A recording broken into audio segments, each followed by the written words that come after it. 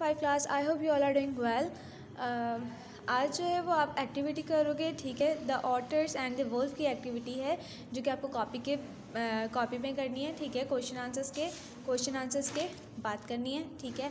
तो इसका क्वेश्चन है do think of a time when you did not agree with a member तुम्हें तुम्हारा ख्याल है कि तुमने कभी ऐसा आ, काम किया हो जब तुम्हारे फैमिली मेंबर तुम्हारी बात से एग्री ना करते हो? ऑफ़ योर फैमिली और वन ऑफ़ योर फ्रेंड या फिर तुम्हारा दोस्त? How did you resolve your disagreement ठीक है इनमें इसमें क्वेश्चन में पूछा हुआ है कि आपका कोई फ्रेंड या फिर आपका कोई रिलेटिव जिससे आपकी कोई आर्ग्यूमेंट हुई हो ठीक है आपस में एग्री इतिहाद नहीं हुआ हो ठीक है एग्री ना हुआ हो कोई आपकी बात से तो आपने किस तरह से अपने मसले को या अपनी बात को रिज़ॉल्व करवाए या उसे सॉल्व करवाया?